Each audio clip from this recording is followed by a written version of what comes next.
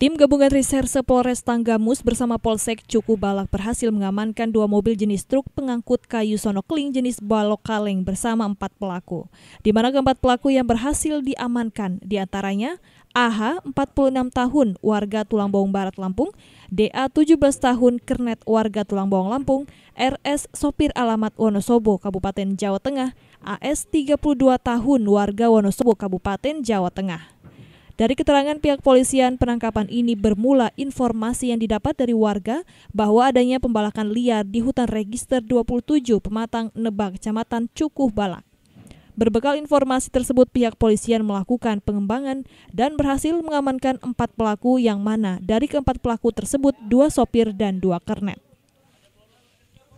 Pada saat penangkapan, kedua mobil telah terisi kayu sonokling dan berbentuk balok kaleng dengan jumlah 8 kubik dini hari jam 03.00 saat es krim Polres Tanggamus berikut Polsek Cukubala itu dipimpin oleh Kasar Es Krim dan Kapolsek Cukubala berikut tim telah mengamankan dua unit truk yang berisikan sonokling. Jadi uh, regi terdapat diduga dari berasal dari register 27 di daerah Cukubala. Itu saat ini sedang kita lakukan evakuasi, satu sudah kita amankan, kita bawa ke kantor Polres namun satu kendaraan sedang mengalami kerusakan dan sekarang kita lakukan pemeriksaan isi dari sonokling tersebut. Dari pengakuan tersangka, barang ini akan dibongkar di daerah Pulau Jawa. Terhadap keempat pelaku, Red, saat ini dilakukan pemeriksaan di Mapores Tanggamus. Dari Tanggamus, Edi Kurniawan melaporkan.